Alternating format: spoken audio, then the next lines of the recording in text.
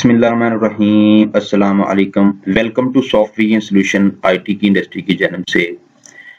ज़्यादातर एक नई वीडियो लेकर आपकी खिदमत में दोबारा आज हाजिर है। आज मैं आपको ये बताऊँगा कि आप विंडो 10 में किस तरीके के साथ, विंडो 10 या 8 में किस तरीके के साथ अपने प्रिंटर को इंस्टॉल कर सकते हैं। ठीक है, विंडो 10 और 8 में जो होता है, ये कंपेटिबल होता है। इसलिए आम जो प्रिंटर होता है, उसको इंस्टॉल करने का और इस इन प्रिंटर्स का, इन विंडोज़ के अंदर एट और टेन के अंदर डिफरेंट तरीकाकार है। तो मैं आपको आज बताता हूँ कि आप किस तरीके के साथ इंस्टॉल इसको कर सकते हैं, ठीक है? इसको दो तरीके होते हैं, एक मैनुअल तरीका होता है और एक ऑटोमेटिकली तरीका होता है। मैनुअल तरीके में हमें खुद से इंपोर्ट करवाना पड़ता है प्रिंटर के सॉफ्टवेयर को और ऑटोमेटिकली तरीके में। मैं आज आपको ऑटोमेटिक बताऊँगा कि आप किस तरीके के साथ किन दो सॉफ्टवेयर को इंस्टॉल करके डायरेक्ट इसको इंपोर्ट कर सकते हैं।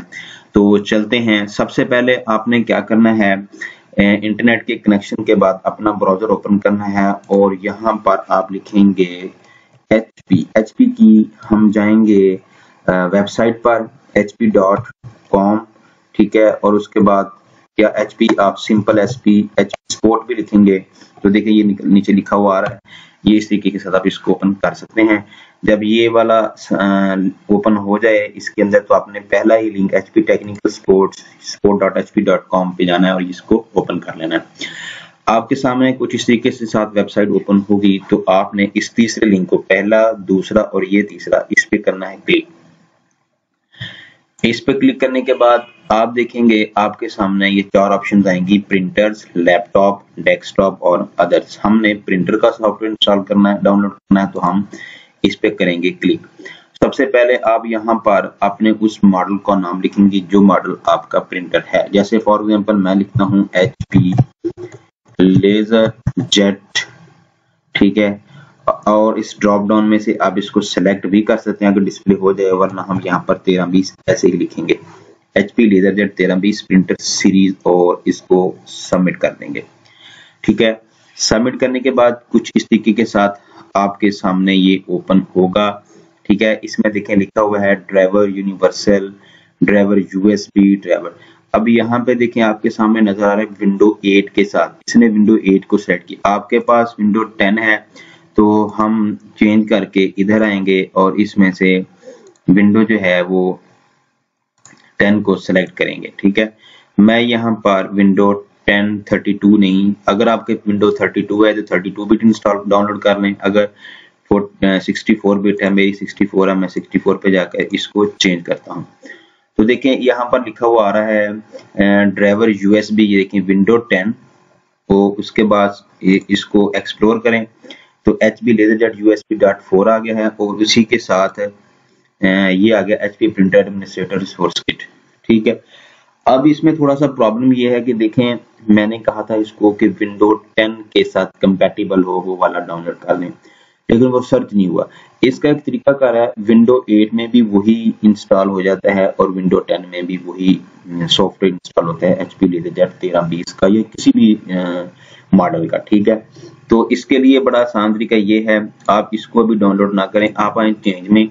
और यहाँ पर विंडो 10 में अगर नहीं डिस्प्ले हो रहा तो हम विंडो 8 वाला ही डाउनलोड कर लेंगे। ठीक है?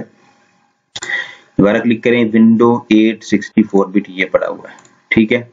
अब इसको करें चेंज अब देखें हमारे पास दोनों ड्राइवर आ गए हैं। यहाँ पर देखें यूनिवर्सल ड्राइवर भी आ गया है। यूनिवर्सल में ये होता है कि तमाम ड्राइवर इसके मिल जाते हैं एचपी सीरीज़ के ठीक है?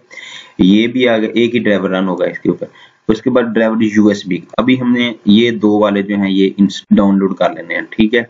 ये डाउनलोड करने का तरीका क्या है? मैं आपको ये बता दूँ डाउनलोड पे क्लिक करेंगे। अगर आपके पास आईडी में, मेरे पास आईडी भी है और ऑलरेडी मेरे पास इंस्टॉल्ड डाउनलोडेड भी है, इसलिए ये लिंक आ रहा है डुप्लीकेट का। अदरवाइज़ आपके सामने इस तरह का लिंक नहीं आएगा, ठीक है? जब आप इसको डाउनलोड कर लेंगे तो फॉर एग्जांपल मैं आपको दिखाता हूँ, मेरे पास डाउनलोड होने के बाद, मेरे डाउनलोड के फोल्डर में ये आ गया है प्रोग्राम के फीचर में। देखें, ये दोनों पड़े हुए हैं, ये भी और ये भी। आपने इसको, इसके ऊपर डबल क्लिक करना है, इसको भी इंस्टॉल कर लेना है और इसके ऊपर भी, अगर आप इसके ऊपर डबल क्लिक करेंगे ना तो ये इस तरीके के साथ आएगा, ठीक है? जो ही आप अनजिप करेंगे, मैं आपके सामने करके भी आपको दिखा देता हूँ। तो ओके के ऊपर क्लिक करेंगे यस कर देंगे। यस करेंगे तो ये इंस्टॉलेशन स्टार्ट हो जाएगी इसकी, ठीक है? मैं यस नहीं करूँगा क्योंकि मैंने इंस्टॉल किया हुआ है। जब आप ये वाला काम कर लेंगे तो ये समझें कि अब आपका जो सॉफ्टवेयर है वो इंस्टॉल हो चुका होगा, ठीक है? सॉरी यहाँ पे आप जाएँगे कंट्रोल पैनल में, ठीक है? इसको मतलब सर्च करने का तरीका है जो है, देखने का कि इंस्टॉल हुआ ये नहीं हुआ, ठीक है? उसके बाद यहाँ पे क्लिक करें ऑल कंट्रोल और ये डिवाइस एंड प्रिंटर्स बड़े हुए हैं। तो देखें, ये आपके सामने एच पी लेजर तेरह बीस का जो है ना वो मॉडल जो है, ये इंस्टॉल होकर आ चुके हैं। कई लोगों के ऐसे होता है कि अब पहले जब तीन थे ना, ये ये वाला और ये तीन थे तो यहाँ पे प्रिंटर्स थ्री आ रहा था और ये तेरह बीस इंस्टॉल नहीं हो रहा था।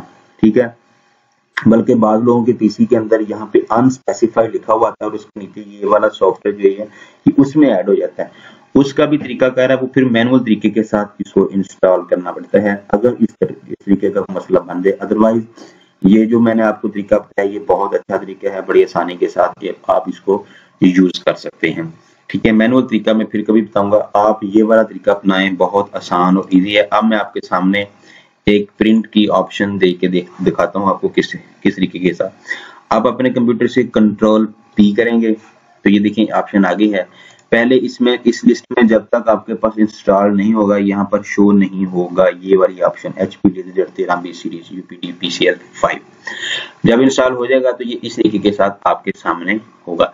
फिर आप इसके ऊपर क्लिक करेंगे, ये सिलेक्ट बाद का ऐसे होता है कि और सिलेक्टेड होती है, यानी कि अगर आपके पास इस तरह सिलेक्ट है तो आप चाहते हैं जी मैं ओके कर दूँ तो ये प्रिंट निकलेगा, ये कभी भी नहीं हो सकता, ठीक है? इसको सिलेक्ट करेंगे, आप उस उस ऑप्शन को सेलेक्ट करेंगे जो आपके पास प्रिंटर मौजूद है, ठीक है फिजिकली जिससे आप प्रिंट लेना चाह रहे हैं, ठीक है? उसके बाद आल पे क्लिक करेंगे तो सारे के सारे पेजेस आ जाएँगे, जो भी आपके पास होंगे, जैसे कि मेरे पास 16 पेज हैं। तो अगर आप करंट पे करेंगे तो आपके पास जो जो डिस्प्ले आ रहा है आपके सामने, जिस पेज का, वही पेज उसी पेज का निकलेगा प्रिंट अगर आप चाहते हैं कि फलाम पेज से फलाम पेज तो इसका ये आसान तरीका होता है कि मैं फॉर एग्ज़ाम्पल दस से कहता हूँ जी, ये बीस तक तो दसवें पेज से लेकर बीसवें पेज तक ये जो है प्रिंट निकाल देगा सिस्टम हमारा ठीक है? ये तरीका कार था जी, अगर आप करना चाहते हैं जी इसकी प्रॉपर्टीज़ में जाकर मैं ये थोड़ा सा आपको ये भी बता ही दूँ। अगर आप इसको ए फोर से इसका साइज़ चेंज करना चाहते हैं तो आप यहाँ से कर सकते हैं।